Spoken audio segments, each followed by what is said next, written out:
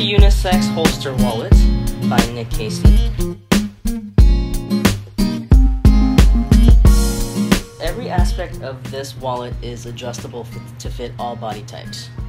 Each strap on the left and right arms are adjustable based on little tiny screws.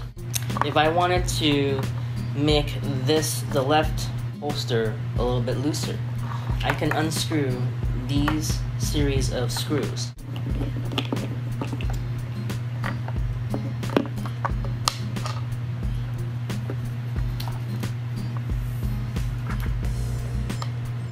Also be sure to hold the other end of the screw so that you're able to unscrew them properly. Because sometimes when you're turning, you could be turning the other side as well. And now as you can tell, all the screws are off, so this is totally adjustable now. And I can make this a little bit longer, or I can make it shorter.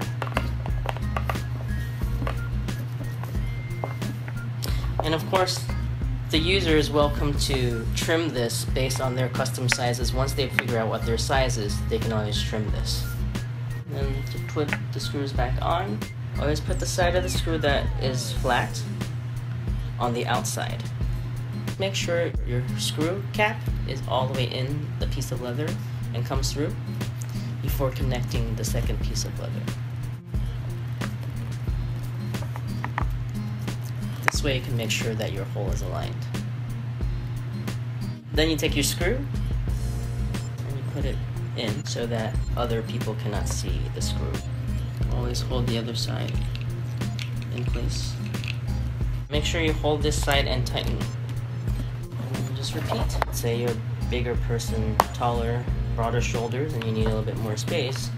This is also adjustable so that the width of your arm, your shoulders, is also adjustable.